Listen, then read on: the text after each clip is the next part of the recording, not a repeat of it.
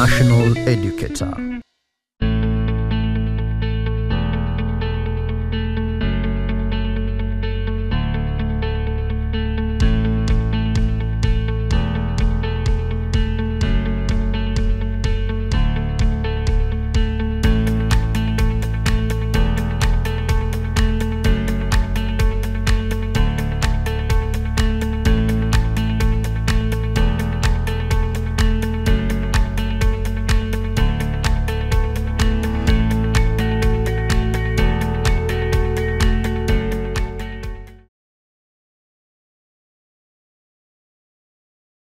Today we have agriculture for grade 6. I will be your host, Wangoi Ndirango. Our sign language interpreter is Velma Akinyi and our green thumb teacher is Mr. Kevin Muhia. Karibu sana. Thank you. Please tell us what we have today. Today, mm-hmm. in our agriculture lesson, mm-hmm. we're going to be looking at mm-hmm. the two types of soil erosion, Okay. where we have, but before we go to that, a fact Okay. about soil conservation. Okay. Soil Hmm. conservation. Hmm. Those are how many words? Two. What do they mean? Okay. We have soil Hmm. and we have conservation. I think the trick is in the conservation, okay. where I'm thinking preserving it, saving it, keeping it nice, and you know, Dressing it usable, well. dressing it well. You know, mm-hmm. yeah. Giving it some makeup. Yes, mm-hmm. a little lipstick over there, Okay. you know, eyeshadow over there. You know, just mm-hmm. making it nice. looking it making it look attractive Yeah. Hmm. Maybe not attractive, but at least well kept. okay well kept Well kept. for example you can say it's making this soil productive Yes. that is actually what it means Okay. so when you talk about soil conservation how can we conserve this soil how can we make this soil attractive that is it is it becomes productive because you cannot know the attractiveness or the productivity of or yeah that attractiveness of the soil unless you see the produce Yes. So the production uh, or whatever it produces is the one that is going to tell you that soil has been Has conserved. been conserved well. It has been taken care of. Okay. It has been put some makeup. Yes. And when you talk about this makeup, these things that are making it look attractive, we call that manure. Okay. The manure that you put in the soil, it is one of the ways that you make the soil become more productive. Okay. So we add manure to the soil to make it fertile. Fertile. Okay. If your soil is not fertile, usually find people add fertilizer. Yes. And it is okay. mm -hmm. But when you talk about fertilizer, you know fertilizer these are mostly chemicals. Chemicals, yes. And you have to put them mm. according to the you cannot just you cannot put a lot of it. mm. You're going to damage the something called the pH of the soil. Okay. So you have to measure whatever you are putting in your soil. But when you talk about this compost manure, Okay. you just add the manure. It -hmm. is there. It will not do any harm -hmm. to the to the soil because it's something called organic. It is organic. Okay. Organic is anything that is alive and can die. Okay. So it is alive And, and can die. So, in short, organic matter mm. comes from living things. Okay. You together? Mm-hmm. Okay, mm-hmm. we'll come to that. Mm. So, we can use what we call compost Manure. manure, mm-hmm. to improve our soil fertility. Fertility. Compost. The key word is in Compost. in compost. So what does compost mean? When you talk about compost, Uh-huh. compost, we can say, let's use the word organic. Okay. Ask me what organic means. Uh, organic. What does organic mean? Organic means it is living, And it can die. and exactly it can die. Anything that is living And can die. can die. So, for example, we have a maize plant. mm -hmm. That maize plant is in the shamba. Yeah. Kadogo grows, grows, grows. mm. You harvest the maize. mm. You leave that maize tree there. mm -hmm. Where does it go? mm. It decays. it decays. It withers. It So breaks it dies. off. It dies. Inarudi becomes the manure. Yes, That okay. top part, uh, mm. top part of the soil, of the soil, which okay. we call humus. Okay. You getting it now? Yes. So when you talk about compost, we can make a very simple compost heap at home. Okay. Very neat. It will not have uh, those bad odors. It will not dirtify your environment. Okay. And uh, where can we get this organic matter from to make a compost pit? Remember, we are talking about organic matter. Yes. Mm-hmm. I'm thinking peels. Okay. Yeah. Peels from fruits. Mm-hmm. From fruits. Yeah. Yeah, those are some of the things I'm thinking maybe. So to guide you, I have a diagram there. I want you to observe Yes. some of the things that you can see there and get to identify them. So what can you see? I can see peels Peels of. Uh, of bananas. okay, there is the banana peel somewhere here. Yes. Okay. I can see rotting fruits. I can see grapes. okay, some those grapes. grapes? Yes. This is a banana here. There's a banana there. This is a watermelon. That's a watermelon. Mm -hmm. this is some spinach. yes, Or uh, like some uh, Vegetable, some type of some, vegetable. yeah. I can coriander. see avocado over here. Okay, yeah. Uh-huh. Yeah. So when you see the, these are some of the things. Mm. Once you put them in a pit, mm. they are going to decay. Okay. They're going to rot. Yeah. Eventually, they're going to disintegrate and they get into the soil. Yes. And they form that organic part, which Mm-hmm. we call the the compost manure. Okay. So some of the things that you can use, we Mm-hmm. have the kitchen waste. Okay. The kitchen waste, this is, for example, you are cooking, Mm-hmm. you have the vegetables, maybe you have your spinach, your, your kales. There is that part that you cut and, And throw, throw off. away. Yes. Don't just throw it away. Put it in a compost pit. Mm-hmm. Once you have gotten your compost pit, Mm. put it there. Okay. You have your, maybe your leftover foods. Mm. You throw them there. Mm-hmm. They are still going to decay. Decay. Another one, we have talked about the fruit fields. fields, you gave yes. us that example. Yeah. Then we have grass. Okay. Grass is living. Yes, it is. So once maybe you have mowed your lawn, Mm-hmm. you take that grass, put it in the compost heap. Oh, okay. It is going to eventually decay. Mm. Anything that is alive, even some of the here the animal waste. Okay. Once you go to you wash uh, you wash the cow shed, you wash the Mm-hmm. pig style, those the rabbit hutch, Yeah. you just take it, throw it still in the compost, Pit. Okay. In the compost pit. Okay. And it is not a must you dig a compost pit. You can make one. Okay. How can I make one? For example, Mm-hmm. you can make that one. Oh wow. Okay. You can just make one. If Mm. you don't have, you know, sometimes you may lack a lot of space Yes. to dig it. Yes. You can just make one mm. like that one. That was with wooden there. Yeah. You just put it on some at a certain corner. Mm. So you just be pouring your waste. And once it has uh, decayed, it has uh, rotten, -hmm. you just come -hmm. and carry it to the shamba. Okay. And what are you going to use to carry it to the shamba? A wheelbarrow. Simple. A farm Yeah. tool. Yeah, a farm tool. A wheelbarrow. Mm-hmm. You put it in, you take it to the shamba. Okay. You see? Yeah. And once you put it in the in the soil, mm-hmm. the soil becomes fertile. Okay. And the production of that soil, my friend, fruits are going to flourish. Mm. The vegetables, the, Okay. just try it and you'll Okay. see. Okay. Try it and you'll see. All right. So that is what we talk about soil conservation, Okay. making the soil more productive. Mm-hmm. We good on that? Yes, we're good on So that. So that was our today's fact. Okay. So we come to our lesson today. I told you we're going to compare two types of soil erosion. We have the first one. Tell me, which soil erosion is that? Um, this looks like rill erosion Rill erosion. Why? because Tell of the me why you think this is rill erosion? Um, thinking because of the channels that have been formed on the bare ground, small channels of water, Okay. and that is the water we call runoff water, Okay. right? So you have talked about two things.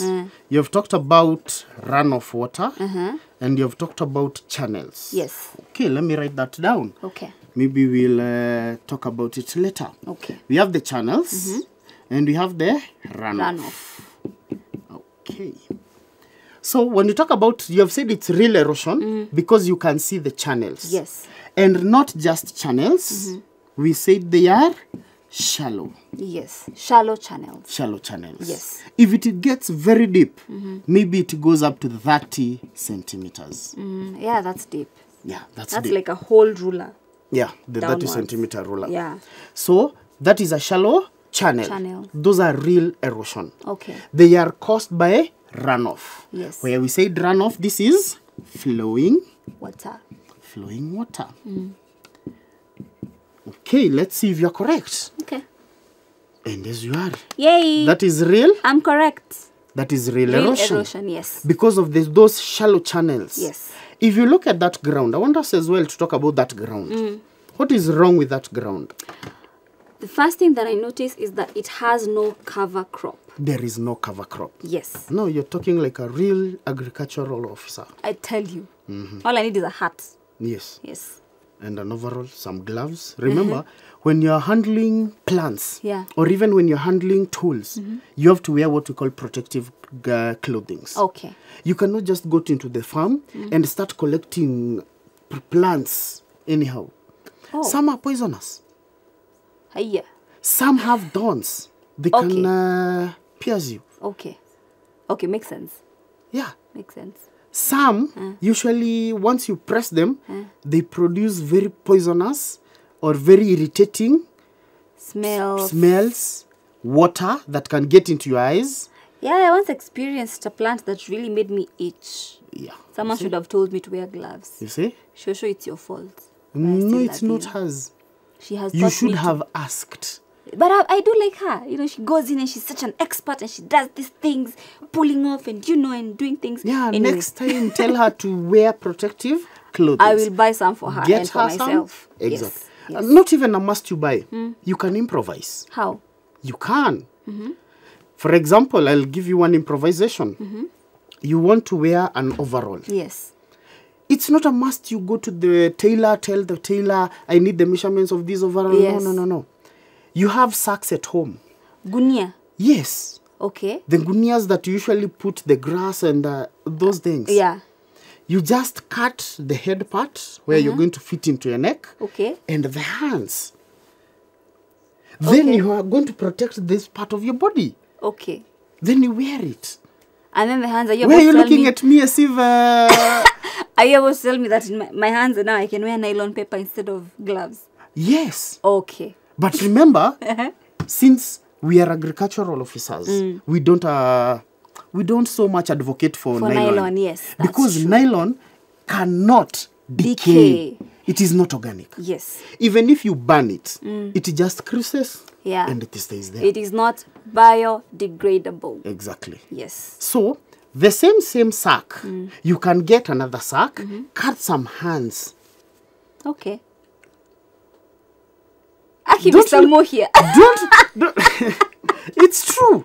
okay, fine. I've heard you. I'll see. I'll figure it out. It's true. I'll figure Actually, it out.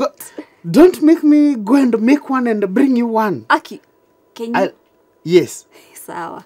Telling you, next lessons, we'll see. yes. In our next lesson, she's going to be wearing an improvised overall. Can I That's a promise. no, remember you are the one doubting. Hi, let's proceed. All right. So we are talking about the rill erosion. Yes. This rill erosion in this ground, Yes. the ground is bare. Yes, there is bare. no cover crop. Yes.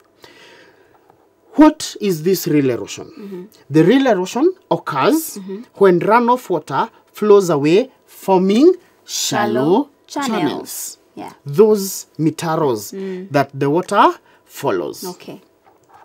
We have said rill erosion are shallow channels. Channels. Basically, that. Okay. Those shallow channels that the runoff water follows. And what causes it? It is caused by the runoff, Mm. Runoff water. water. Okay, we continue. That is an example of a on of an aftermath. Yeah. When uh, the rain stops, the ra- the runoff water has now already flown away. That is how the ground looks like. Mm. You can see, it's n- it's not something so attractive Attractive. No, it's not. because if you look, there is no, no organic matter. No. So meaning, is it fertile? No, it's not. So plant your passion fruit there. Is it going to give you any yields? No. No.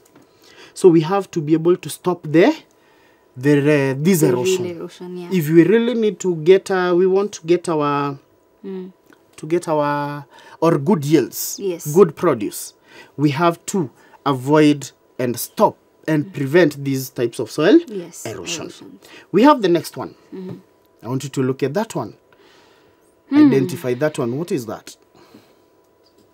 This looks like gully erosion. That is gully erosion. Yes. So it's different from the one we had before. Yes, it is. What is the difference? This one is much deeper and wider. Deeper and wider. Yeah. So the first one you said was rill. Yeah. The second one you have said is gully. Gully. Gully erosion. Yeah. Why? You have said it is deeper. Deeper and wider. Okay. Deeper and wider. Yes. As compared to the channels, the shallow channels that we had previously. Okay. Yeah. So are they channels? I think they're so these deep and wide things are yeah. they channels? I think they were the channels that just went further into becoming bigger. Mm-hmm. Okay. Yeah. I'm trying to get you. Okay. So if we don't take care of our shallow channels Okay. early enough, I mm-hmm. think they become deeper and wider. Mm-hmm. Hence the gully erosion.